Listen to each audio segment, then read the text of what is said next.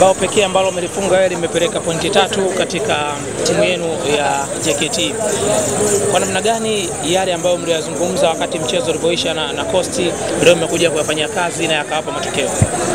Ah, tuliangalia gemu ya za Simba ni kama mbili kwanza, maana zilichezwa zote usiku. Kwa tulipata bahati ya kuziona na mwalimu alifanyia kazi hivyo mazoezini na akatuambia kwamba tuwe makini, kwa sababu tumeona Simba wanafunga magoli mengine hayaeleweki, offside sio offside. Kwa mwalimu akatuambia sisi cha mwisho ambacho kitaamua kama hii ni offside, hii ni kona, hii ni nini, ni filimbi. Kwa sisi tumekuja ni kucheza yani mwisho filimbi. Mlitazama mkiwa uwanjani ama katika CD zile replay mara mbili mbili? Ah, tumeangalia mechi kwenye TV. Huwa tuna tuna wote kambini sehemu moja tunaangalia kwenye TV.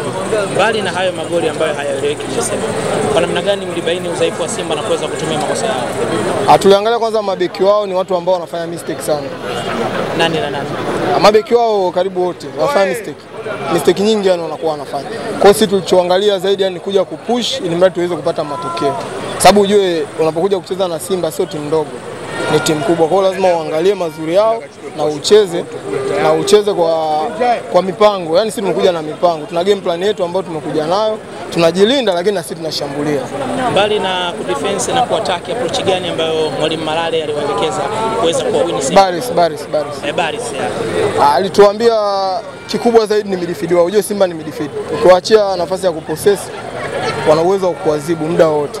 Kwa hiyo tulichofanya sisi game plan yetu, kuna mtu mmoja ambaye alikuwa anazuia alikuwa anazuia mipango yote ya namba sita wao wasiweze kufanya mipango yote, sababu yule ndo anaanzisha mashambulizi.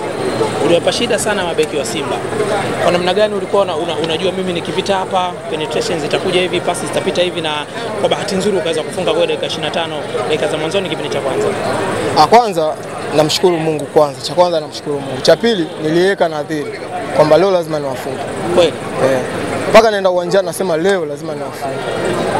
kitu gani ambacho ulikisema sasa, baada ya goli nitafanya kitu fulani, ama hiyo nadhiri Ah, refa kwanza, refa kwanza alituchanganya, unajua alikuwa anamuuliza anamuuliza linesman goli, ndio maana tukashindwa kufanya kitu chochote. Refa mwenyewe ali- alichanganya, kwa sababu refa naona anamuuliza linesman goli, ndio maana mimi mwenyewe ngabaki nimedua namwangalia refa, na maana refa alikuwa sio hajaona au vipi, wakati mpira uko kwenye nyavu, kamfuata Laizmeni anamuuliza goli, mpaka tumeshindwa kushangilia.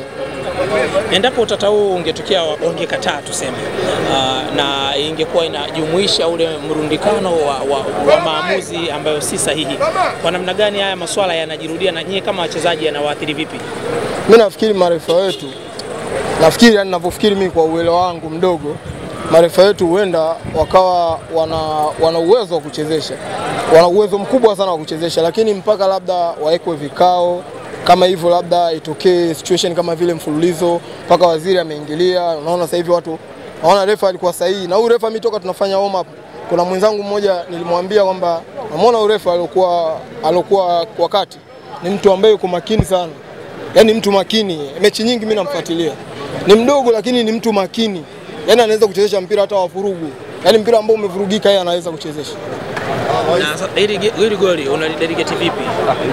Ah, nimefurahi, nimefurahi kwa sababu kuna watu wengi sana, kuna watu wengi sana ambao walitegemea hivyo. Kuna mtu aliniambia amenunulia kiwanja kwa ajili ya goli, ananiambia nakununulia kiwanja leo kifunga. Dar es Salaam mama? Yuko mkoa, ni Moshi. kwa mzee baba mwenye kiwanja? Aliniahidi tu lakini sijui, yeye ameniambia, amenipigia simu akaniambia leo nakununulia kiwanja ukiweka. Eka ngapi? Eh? Eka ngapi? Hajaniambia ila akaniambia tu hivi. Wewe unaenda kuchukua tia. Sijajua kama ni kweli. Asante wala. Ah, mna no.